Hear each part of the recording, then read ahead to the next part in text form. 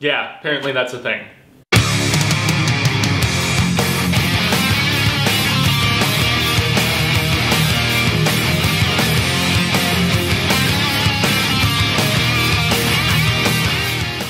Bevanitos, worldwide fans of the planet, hottest entertainment with an edge. I'm Jaime Fuego, and I cordially welcome you to my namesake program Enfuegotainment. That's right, y'all. You can just call me Fuego for short, and I am so stoked to have you here as I give my thoughts on the latest live-action Disney film. That's right, so taking one of their previous properties, turning it into an affair that has real people, or in some cases, real digitized animals. We get a little bit of both here in this, the 2019 reimagining by Tim Burton and Ehren Kruger of Dumbo, that's right. And so Dumbo is not like an absolute all-time favorite for me. Those would be, you know, things like Snow White and Sleeping Beauty and Alice in Wonderland. And I guess as far as later stuff goes, I enjoy, you know, the, oh, I guess The Little Mermaid and I enjoy Beauty and the Beast. But I'm honestly really a sucker for older, like much older Disney stuff, and Dumbo being one of those, you know? And uh, so it's one that hits you in the feels. It's one that is kind of psychedelic at times, if anybody remembers the whole Dumbo getting drunk scene and the pink elephants and all that wackiness. It's also wee bit uh, stereotypical, and some would say borderline the uh, whole, well, who am I beating around the bush about? A little racist. Yeah, that's right. We're talking singing crows and stuff. But so uh, this is the latest live action adaptation, but it's uh, one of, I believe it's going to be three this year, if I'm not mistaken, because we still have Guy Ritchie's uh, interpretation of Aladdin coming, and then we still have Jon Favreau's dealing with all animals once again. Well, actually, I guess there was one human in the Jungle Book, but in his upcoming version of The Lion King, there's not going to be any. So, uh, yeah, Dumbo, and it's got a lot of very noteworthy human actors in it. It's got some Colin Farrell, it's got some Michael Keaton, it's got some Danny DeVito, it's got some Eva Green. Whew, Lord have mercy. And so, uh, yeah, I guess uh, always here on Enfuegotainment, we cover Bueno, we cover Malo, we cover Feo, and so I'm going to start as best I can with the Bueno because I definitely had some mixed feelings about this film. So, uh, it's definitely not a masterpiece by by any way, shape, or form, but it is a it is a visual delight, in all honesty. Although uh, some of the malo, some of the bad is the fact that it does look a little um, a little green screeny, a little too CGI at times, but for the most part, Tim Burton brings his visual magic to the screen that I had kind of abandoned all faith in, you know, at least as far as his last few pictures until I saw Miss Peregrine School for Gifted Goth Kids. And when I saw that movie, I was like, okay, Burton still has it in him to a degree to make stuff that's a little twisted looking and yet very visually striking and I feel like he has the ability to tell a good story when there is a solid script. Solid script this film does not have, but I will get to that in the malo. Um, but as far as a, a, visual treat goes, like the actual like circus acts and everything, and uh, you know just some of the little twists that are taken on the visualization, and also the animals do look the the the elephants at least look quite good. Now there's a few times where you're just like, okay, Dumbo is very obviously CGI, but for the most part, um, the visuals of these fake animals are really realistic looking, like genuinely. And uh, I mean, it, uh, Dumbo is very cute and he evokes a lot of just personality and just heart warmth and stuff and kind of hits you in the feels a lot, especially with those big old eyes of his. And uh, a lot of the flying scenes do actually look pretty convincing and really good. And so, you know, you couple that with some of the costume design, which is really great. And uh, once Eva Green finally shows up along with Michael Keaton, and they're taken to this like dreamland big theme park of sorts that they have back east. It's a, it all is very just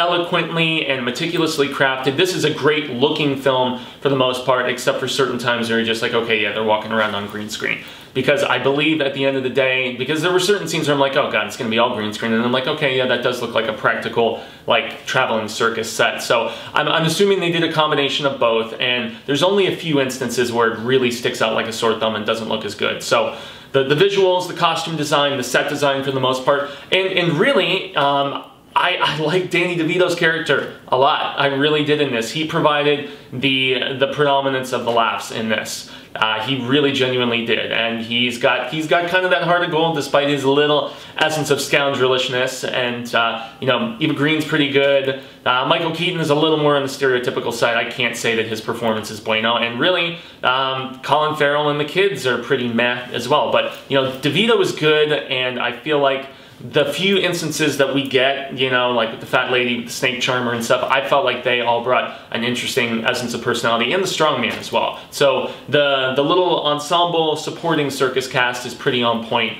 and uh, you know they seem they seem genuine and good as well. So um, I mean that's really that's really what this film has going for it. Just the heart that you get from Dumbo and his connection with the kids is cute, but it doesn't really sell itself as well as I would have liked. And that's where I have to segue into the malo, into the bad of this film.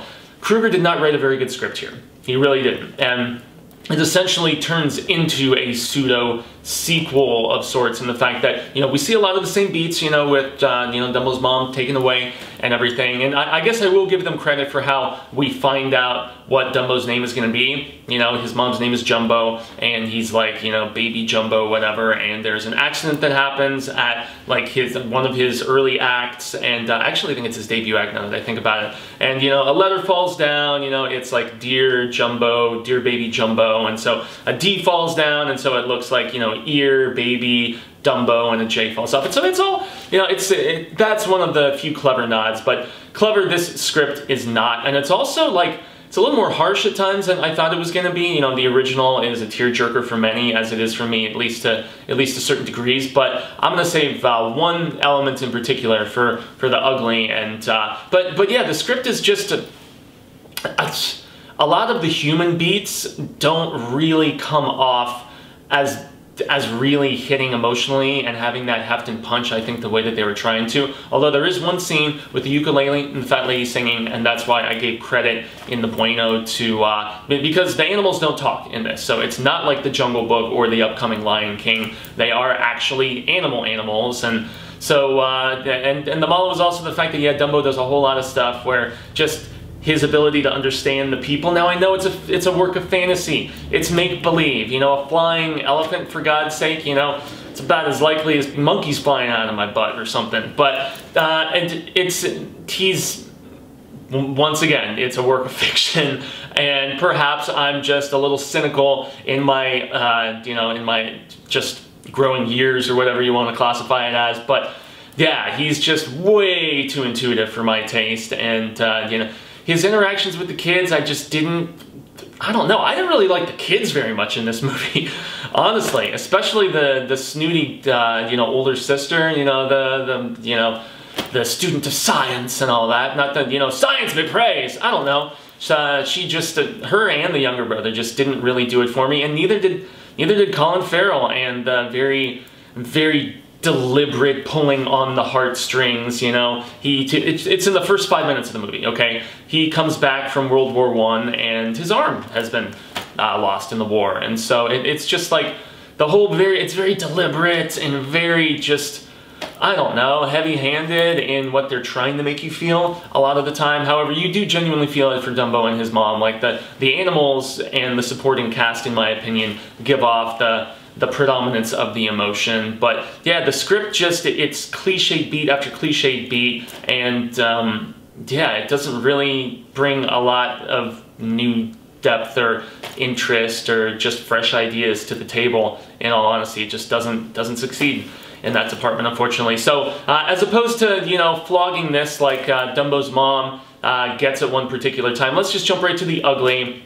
and get the ugly out of the way. In the fact that um, when Dumbo is being mistreated during the, uh, the, it's from the movie, you know, where he's dressed up and goes up with the clowns and the firemen and everything like that, uh, when his mom, like, does the whole rage riot thing and, you know, becomes the mad elephant and goes into, uh, and this is a spoiler, everybody, okay, so if you don't want a spoiler, you know, speak now or, you know, bounce out now or forever hold your peace, but when, when Dumbo's mom goes into, when Jumbo goes into rage and just knocks the whole tent down and everything happens, she kills somebody.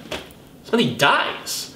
And in all honesty, I didn't really feel as much sympathy maybe as I was supposed to. And the kids just brush it off. They're like, we know your mom didn't mean to do it, and blah, blah, blah. That person died! An innocent person died from this animal raging, and no, that's not where I'm saying, like, you know, go put the elephant down, like they try to do at one particular point in this movie when Michael Keaton being the very, and this is ugly too, Michael Keaton is the most stereotypical, I'm so scheming and mischievous bad guy, and what he does at the end of the movie after he realizes they're trying to break Dumbo's mom out and, uh, you know, Dumbo flies away and he's losing his prized attraction and everything. And he goes up to where all the power for his ginormous park is run and he's just like, hey, man, just breaking every lever and he causes this big electrical fire and his whole park is burning down. It's like the stupidest, like, ah, it's, uh, it's ugly, it's fail, it's just dumb, it's really dumb.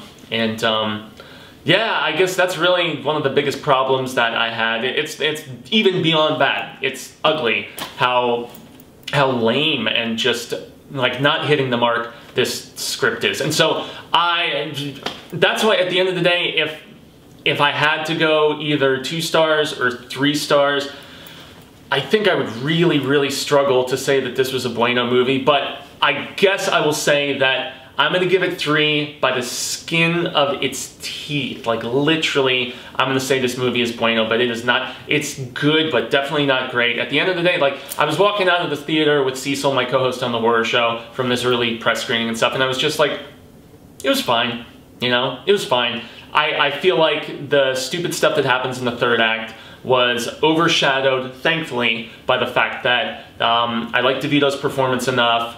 Um, I liked the CGI enough, I liked the look of the film enough, and I liked a few of the story beats enough to to give it a, to, I'll give this one a pass, okay? I was really torn between two and three. So this gets three Fuego Fireballs. It's bueno, it's good, but it's definitely, it's not on par or anywhere near, you know, the quality of Cinderella or you know, honestly, I still think Cinderella is the best of all the live action adaptations. Better than Beauty and the Beast, better than The Jungle Book. I thought both I thought both The Jungle Book and uh, Beauty and the Beast were just okay. I really didn't like Maleficent. Maleficent is definitely worse than this movie. But um, I don't know. So yeah, it gets three out of five, and that is the final verdict before I start to overanalyze this. And by the way, did I mention how much I love Eva Green, except for in A Dame to Kill For?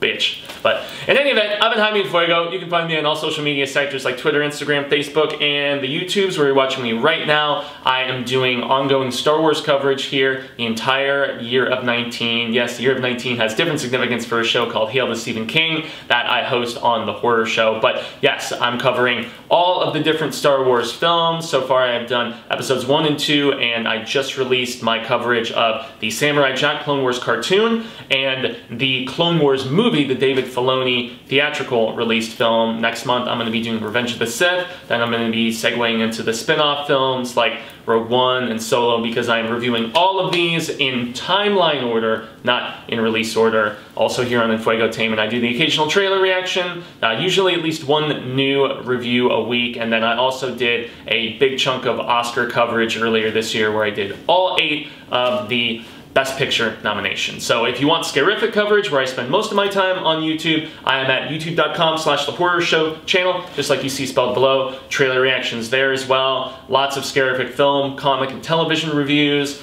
uh, convention coverage, video game let's plays from some of the rest of the crew over there. So yes, pretty much everything under the horror umbrella. So I guess uh, that means it is time for us to pack things up and for me to say adios. So until the real of Ka comes around once more, I shall say hasta luego, cinemigos, and uh, constant viewers here on, uh, yes, Enfuegotainment. You are greatly appreciated. Say thank you, and I hope that we get to reconnect with one another sooner rather than later. Peace.